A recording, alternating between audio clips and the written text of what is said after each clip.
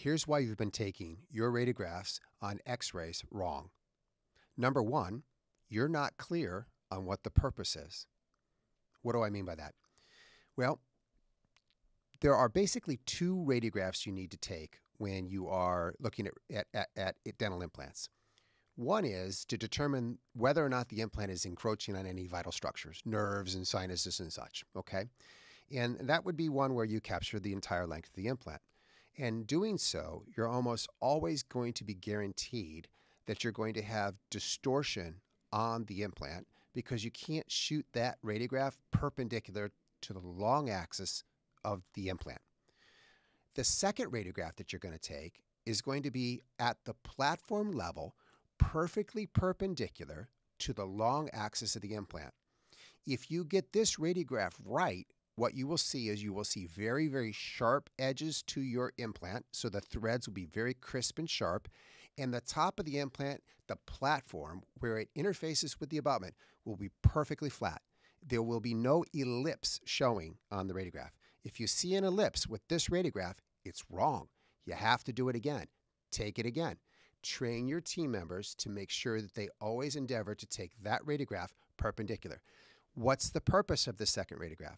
The purpose of the second radiograph is to ensure that your interface is tight. In other words, whatever abutment you're placing on the implant, whether that's a healing abutment or a or a non-functional provisional at the time or even at the time of final delivery. You must ensure that your abutment is seated fully on your implant. The only way to verify that radiographic is through proper radiographic technique. And the way you do that is with a perfectly perpendicular picture. Threads must be sharp and the platform has to be a straight line. If you have an ellipse, it means you're shooting it at an oblique angle, which means you're getting either foreshortening or long elongation of your implants and it can very, very easily disguise a small gap between your abutment and your implant, which means it's not seated. And if it's not seated and you send them home, it means you don't have preload on your screw. And if you don't have preload on your screw, it means they're going to report back to clinic with a loose implant in a very short period of time. And that would be that would be good news. The bad news is is that sometimes these implants can become loose and the patient doesn't identify it right away and they only identify it after they snap the abutment screw off. In other words, the abutment screw breaks off inside the inside the implant, and the pus comes out of the mouth, and it's in their hand. Uh, typically, that happens with men that are a little bit more stubborn and they don't come in because they're like, oh, I'll just wait six months to my next hygiene appointment to take care of this. But you want to make sure that you tell your patients when you're done delivering their, their provisionals or their finals, if at any time they notice anything that resembles a mobile tooth on their implant, they need to come in right away. Do not wait. It's not a biological concern. You're not worried about infiltration of sulcular fluids. That's not what we're worried about. What we're worried about is mechanical complications where you where you break a you plastically or permanently deform metal inside of your implant where sometimes that can be very challenging to retrieve it definitely creates a bit of stress for you and the patient. And if you actually can't get it out, if there's just no way to get it out, the implant's ruined. And so you really want to make sure you communicate to the patients hey, if the crown is loose, come back right away. Let us get that thing tightened. But better yet, let's make sure it's tightened before we send them out the door, and that's with a proper radiograph. So, in summary, two types of radiographs. One is my implant generally in the right location? It's not hitting a vital structure like an adjacent tooth, a nerve, or a sinus floor, or something like that. And number two, I just need to see the coronal aspect of the implant where I want to verify that, this, that the crown is seated fully. Now, a follow up to that is this. If I want to assess the longevity of my implant, the radiographs need to be sequential. Now, the only way to do this accurately, and this comes from the literature, it's well reported in the literature, the only way to do this accurately is to have a radiographic jig. And almost no one does this. Now, why? Well, it takes effort to create a radiographic jig. You take an XCP, you squirt some registration material on there, you have the patient bite down into it, and they hold until it sets up. That way, every single time you take a radiograph, you use their XCP that's been customized for them, and you take the radiograph from the exact same position.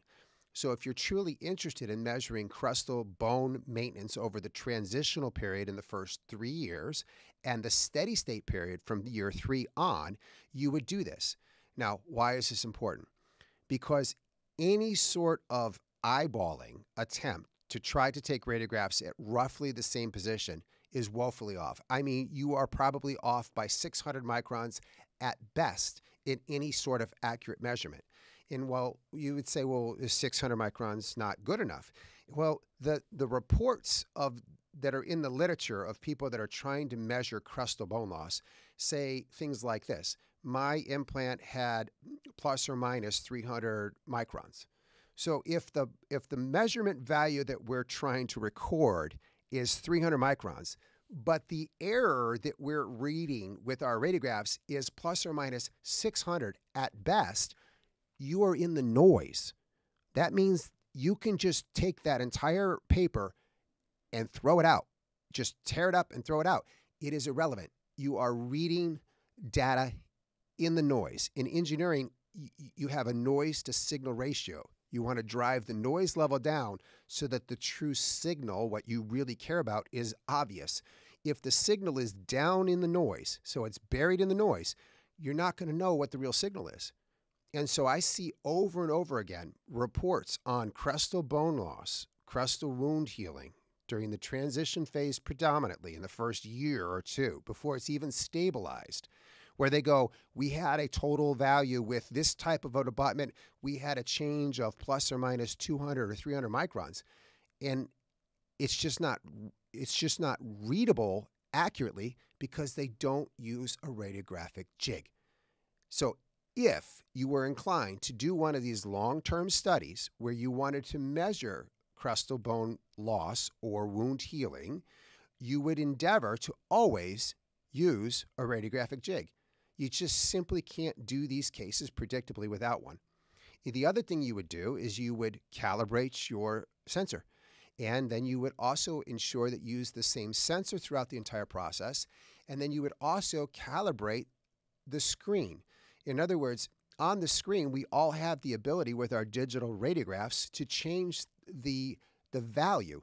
We can change it, we can make it brighter or we can make it darker. And we use that to our advantage to sometimes see things like calculus or cement. We, op- we increase or decrease the brightness value. Well, if you increase the brightness value and then you're using your visual eyes to see where the bone is, you're going to see more bone. If you decrease the brightness value, the bone goes away with the brightness value.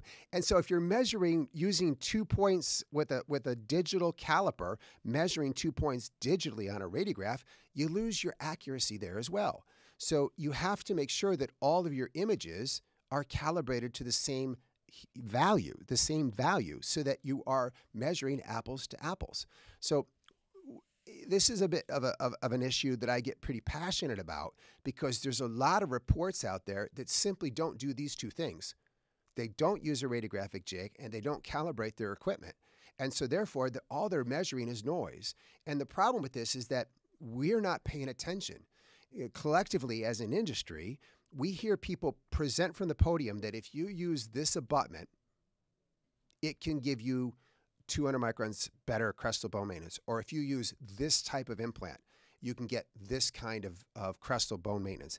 And it's usually a couple hundred microns, and it's clinically irrelevant because their methods are not really measuring true values. So we need to be a little bit more critical of those, and we need to ask our researchers to endeavor to do a better job at controlling the variables of their experiment so that our outputs are more legitimate. And once we get more legitimate outcomes, then the conclusions that we draw from those can be used in an everyday practice. We can actually sink our teeth into that and say, this is a sound report. This is a sound experiment. There are no big major loopholes in this that would prevent us from from understanding the premise that's being expressed in that paper. And I see it a lot. It, actually, it's rather uh, prolific in the in the literature. In in almost every uh, paper that I read about crestal bone loss or wound healing in the first year or two, I see it all the time. And so there are c- conclusion here is there is very little evidence that is actual in terms of the literature in the vast preponderance of what I read. They just don't. They're just not doing it in a way where the conclusion is accurate. They they're they're they're measuring in the noise, and this is a bit of a problem because we're building we're building uh, methods for our team members for our practices. We're saying this is best practice. Do it this way based on these reports that have premises and conclusions that are in the noise. This has been another episode of Implants Made Simple. I'm Dr. Robert Stanley, the Smile Engineer, helping you re engineer your practice every day.